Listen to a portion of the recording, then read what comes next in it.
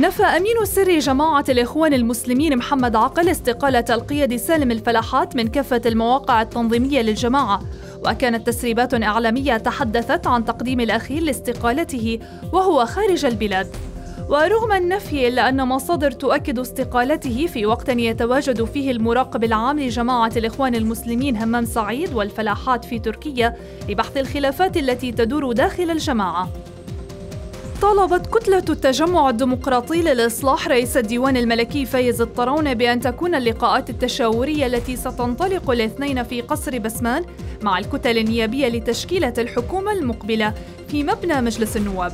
ويستهل الطرون مشاوراته بلقائه صباحا كتلتي وطن والتجمع الديمقراطي للإصلاح فيما يستأنف جولة مشاوراته الخميس المقبل مع باقي الكتل النيابية والنواب المستقلين. أكدت وزارة الخارجية مواصلتها متابعة قضية اعتقال المواطن الأردني خالد الناطور في الرياض. في وقت نفت فيه وجود أي تدخلات شعبية لحل القضية. وقال السفير الأردني في السعودية جمال الشمايلة إن السفارة تقوم بالإجراءات اللازمة للإفراج عنه وعودته إلى أرض الوطن بعد تلقيها وعودا رسمية سعودية بأن الموضوع في طريقه للحل.